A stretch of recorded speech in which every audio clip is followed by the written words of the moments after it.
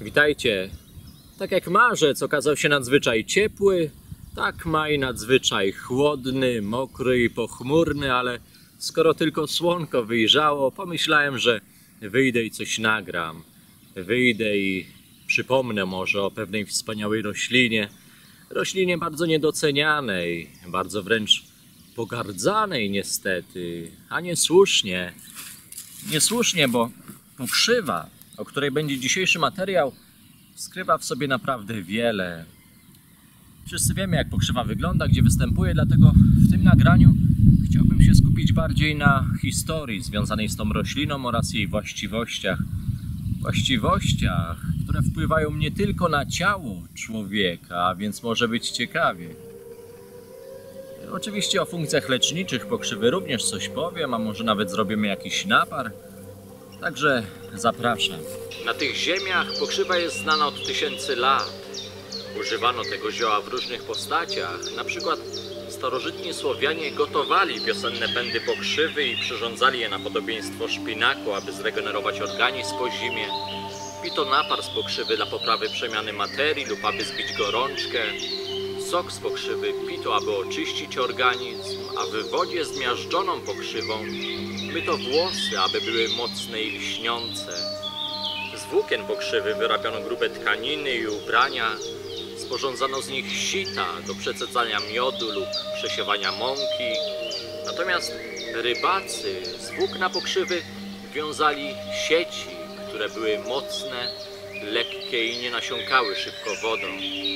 Ale jak już na początku powiedziałem, pokrzywa skrywa w sobie naprawdę wiele i poza jej ściśle praktycznym zastosowaniem przypisywano jej również właściwości magiczne. Tkaniny sporządzone z włókien pokrzywy miały odstraszać demony, pędy pokrzywy wplatane były w święcone wianki. W przeddzień ziołowej nocy, czyli kupały, dodawano mocy domom, zawieszając wiechy pokrzywy wejścia do chat, a wnętrza okadzano dymem. Okadzano również bydła, aby ustrzec je przed urokami. Na polach palono zioła pokrzywy, wierząc, że jej dym odpędzi chmury i ochroni od piorunu.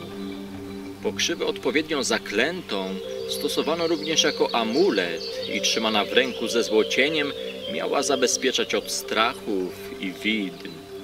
W jej magiczne właściwości wierzyli zresztą nie tylko Słowianie, na przykład u dawnych Germanów pokrzywa była poświęcona Donarowi, czczonemu jako bóstwo burz i piorunów i często w czwartek, po niemiecku Donnerstag, kładziono ziele pokrzywy przy oknach jako ochrona przed złymi mocami, czarownicami i piorunami.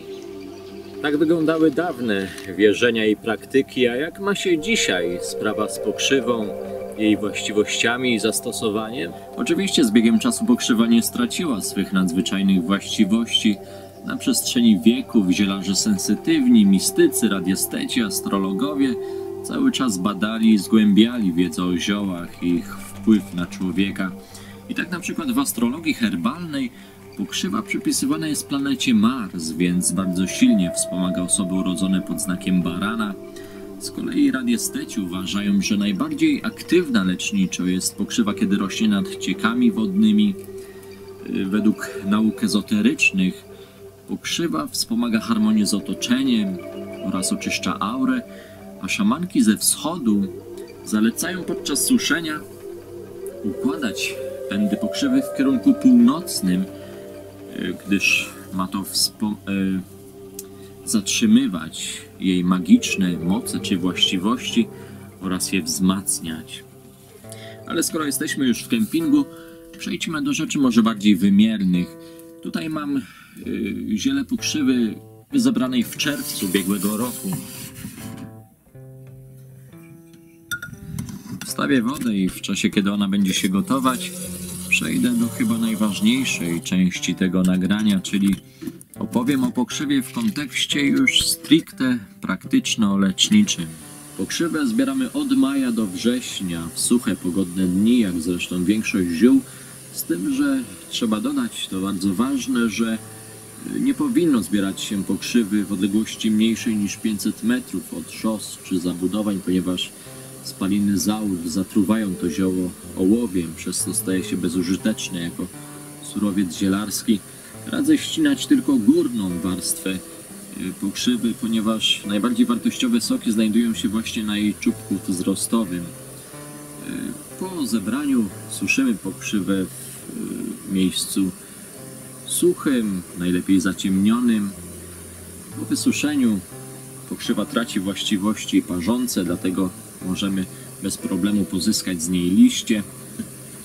A więc jakie właściwości lecznicze posiada pokrzywa? Wymienię kilka najważniejszych. Oczyszcza krew, poprawia przemianę materii, trawienie, y, hamuje krwawienie, działa, ale cudowny zapach. Mój Boże, uwielbiam, uwielbiam to. Yy, yy, mówiłem, że działa moczopędnie?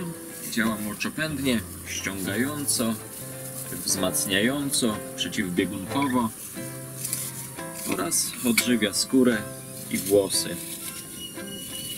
Jak już słyszymy, yy, woda jest już gotowa, a więc nie pozostaje nam nic innego jak zrobić napar z pokrzywy i ewentualnie dopowiedzieć coś o sytuacjach, w jakich taki napar będzie nam najbardziej sprzyjał, czy będzie nas leczył. No to do dzieła. Aby zrobić napar z pokrzywy, bierzemy dużą łyżeczkę mocno rozdrobnionych, suchych liści pokrzywy i zalewamy to szklanką wrzącej wody. Takie są proporcje. Jak widzieliście, ja nie rozdrabniałem liści, tylko od razu ładowałem je do zaparzacza, ponieważ ja już od dawna mam ustaloną dla siebie najlepszą dawkę, ale proporcje zostały zachowane. Po zalaniu wrzątkiem zostawiamy pod przykryciem od 5 do 10 minut mniej więcej, aby się dobrze naparzyło i pijemy ów napar 2-3 razy dziennie między posiłkami. Taki napar z pokrzywy będzie nam bardzo pomocny, na przykład przy zaburzeniach przemiany materii, albo jako środek lekko moczopędny, przy anemii, albo awitaminozie lub krwotokach z nosa, zaburzeniach miesiączkowania albo y, braku mikroelementów. Ale nawet jeśli nie doskwierają nam tego typu dolegliwości, to napar z pokrzywy jest doskonałym źródłem uzupełniającym i regulującym nasz organizm, a w połączeniu z innymi ziołami, jak na przykład z krwawnikiem, skrzypem czy miętą, jest bardzo smaczną, bardzo zdrową herbatą. No i cóż można dodać? Słońce cudowne, dźwięki cudowne, miejsce cudowne, napój cudowny, więc pozwólcie, że już się z Wami pożegnam. Dziękuję za uwagę, dziękuję za obecność na kanale Bez Chaosowania i od razu zapraszam na przyszłe nagrania. Nie wiem kiedy, nie wiem co, ale lubię się z Wami dzielić, więc z pewnością jeszcze nie raz do Was zawitam. Do zobaczenia.